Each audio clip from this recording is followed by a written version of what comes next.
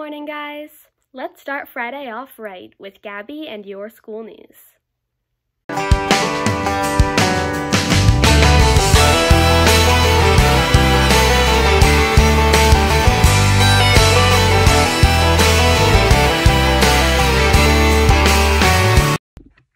Good morning, LMS. Today is day two, Friday, February 19th, and these are your student announcements. Seventh grade course and seventh and eighth grade band will be held ninth period today. Spring sports physicals are due by March 1st. Check out the website for the physical forms and also a link to sign up for free physicals offered by LVHN. Eighth graders interested in attending LCTI are reminded that applications are available in the guidance office and are due by March 1st. Also, eighth graders can find lots of 8th to 9th grade transition information under the Quick Links tab on the school's website. There's a grab and go breakfast every day at 7:15 a.m. Today's lunch is creamy mac and cheese with mixed veggies and strawberries. Monday's lunch is Italian panini with crispy crinkle fries and peaches. Monday is a hybrid A day and a cycle day 3. Some reminders from the main office. If you're absent, you must submit an excuse note within 3 days. If you call home for something to be dropped off, it's your responsibility to pick it up from the main office. There will be no bus passes.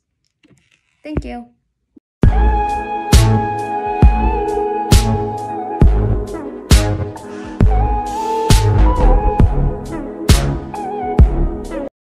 Hi, all. It's Anna back with a super cool world news story. Yesterday, around 4 p.m., Perseverance, NASA's new and most sophisticated rover to date, landed on Mars.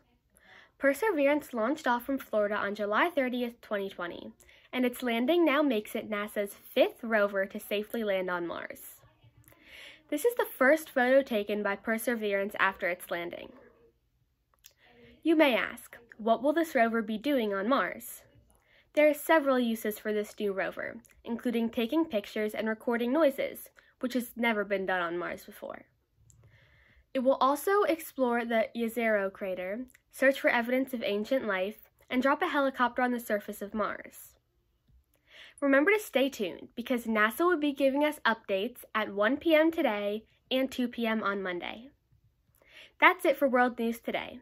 Now let's fly over to Mariah with your weather update.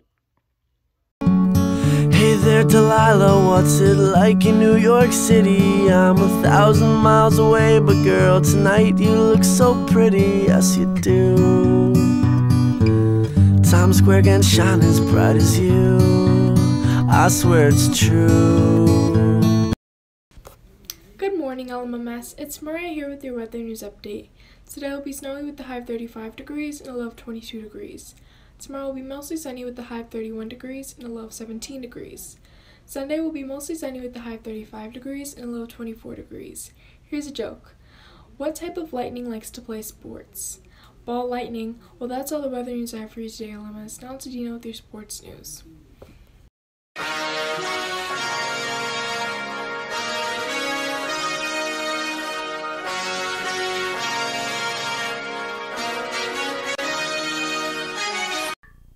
What's going on, LMS? It's Dino here with your sports news.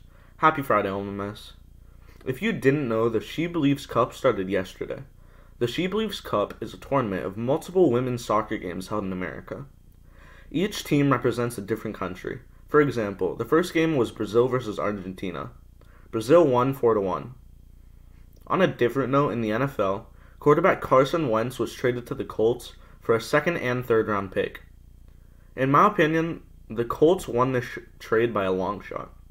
Carson Wentz might have had one of the worst seasons I've seen in a QB in a while.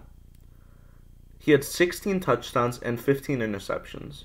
He had a career low in almost every single stat. But if the Colts train him well, he could very easily go back to the 2017 Super Bowl champion Carson Wentz. They have an awesome O line, a great defense, and a solid running court to take some of the load off Carson Wentz. The Colts could be a Super Bowl contender by, by next year, or maybe even more. Well, that's all from me, LMMS. Now on over to Kira with your entertainment news.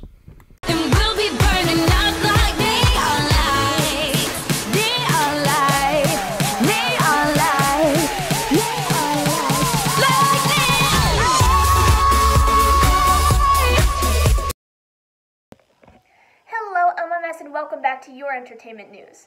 Just recently, the Boston Symphony Orchestra announced its first woman as chief executive.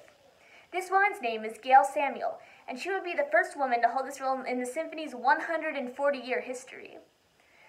During COVID 19, the Boston Symphony and many other musicians have been struggling. I mean, we can't have concerts during a global pandemic. And we're talking about one of the nation's wealthiest orchestras here.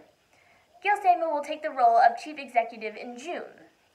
It'll be her job to steer the orchestra through all these struggles they're facing right now. That's it for your entertainment news today, so let's head on over to Random Thoughts with Gabby. Deep Thoughts with Gabby. Random Deep Thoughts with Gabby. At one point, you were the youngest person on earth. Why is it called a building if it's already built? That fork that you're eating with at a restaurant has been in thousands of people's mouths. Nothing is on fire, fire is on things. It's called sand because it's between the sea and the land.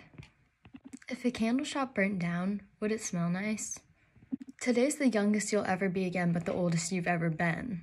When alarms go off, they're actually turning on. If one day you woke up with the ability to walk through walls, it would take you a while to realize you had that ability. If Pinocchio said, My nose is not going to grow, would he be lying or telling the truth? You can never truly stand backwards on a staircase.